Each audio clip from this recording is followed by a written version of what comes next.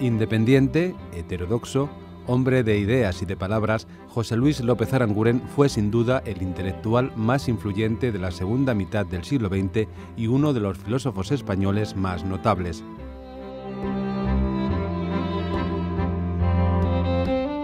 Ejerció una labor magistral como catedrático de Ética y Sociología en la Universidad Complutense de Madrid hasta que fue expulsado por su oposición abierta a la dictadura franquista. Abandonó España y se dedicó a desarrollar en diversas universidades extranjeras una obra extensa, compleja y disidente.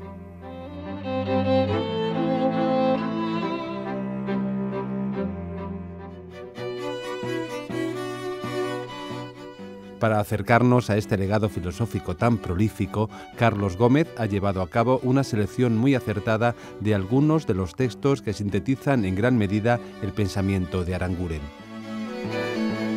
Una antología que ha sido recientemente publicada por UNED Editorial y Trota.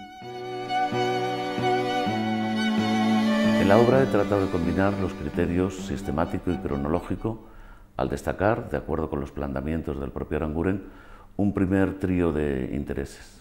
En primer lugar, eh, la religión y las actitudes religiosas, en donde se aborda desde su cristianismo existencial a su posterior cristianismo heterodoxo y la apertura al diálogo entre las religiones y con la cultura en general. Pluralismo religioso, pero pluralismo dentro de cada una de las iglesias. Esto es algo que no ha trabajado ninguno de los pensadores actuales más serios, ni Rawls ni Habermas. El pluralismo dentro de las iglesias, que si no da la sensación de que son estructuras monolíticas y cerradas, y esto Aranguren lo trabaja muy bien, y el de que las iglesias son estructuras abiertas.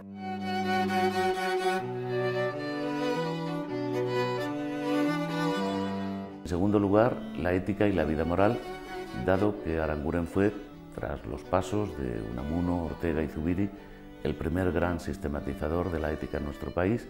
Que el ser moral eh, es algo inseparable de nosotros mismos.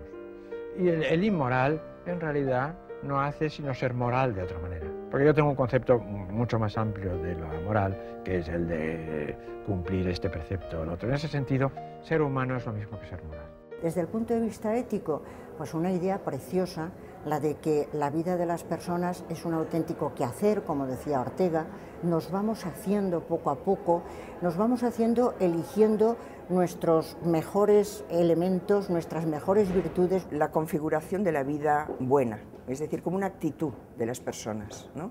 una actitud que hay que ir formando eh, sobre la base de eso que en, la ética griega se llama las virtudes, ¿no? una serie de hábitos, una manera de ser, ¿no? Eh, que se acaba plasmando en una actitud que es la actitud moral, ¿no? y que es lo que él también quiso aplicar a la política. Que si no nos gusta la política, en gran parte, la política tal como se lleva a cabo en España, en gran parte es una responsabilidad nuestra. Nosotros tenemos que asumir plenamente nuestro papel de luchar por una democracia, lo que no se hace votando el 15 de junio o cuando nos corresponda la próxima vez solamente, sino eh, asumiendo este papel de democracia participatoria a través de todos y cada uno de los momentos y de los actos de nuestra vida. Yo creo que así es como se conseguirá la democracia. Cuando Aranguren eh, se convierte en, la figura del intelectual, propiamente dicho, ¿eh? es decir, eh, él oficia de intelectual y entiende que el intelectual es, es un oficio, entiende ese oficio como la conciencia moral de la democracia, es decir, la actitud moral frente a la democracia. Además de esas tres primeras áreas, religión, ética y política, encontramos un segundo bloque compuesto por sus escritos autobiográficos, literarios y de intervención en la vida pública.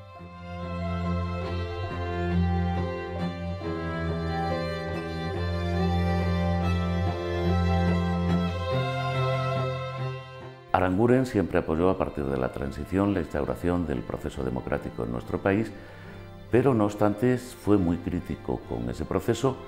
Es una crítica que se explica desde esa mm, voluntad de disentir, ¿no? de no conciliarse con nada, eh, de pensar que em, la democracia tiene una, es una exigencia moral que tiene un listón muy alto. Yo creo que lo más interesante de Aranguren es su enorme actualidad Si fuera un pensador que sirvió para el siglo XX, pero que para el siglo XXI no tiene nada que decirnos, pues yo creo que no merecería la pena hacer una antología, ya el que quiera que se lea las obras completas, ¿no? Es una utopía el ser demócrata en ese sentido, pero los jóvenes saben muy bien que la utopía es lo único que vale la pena en la vida.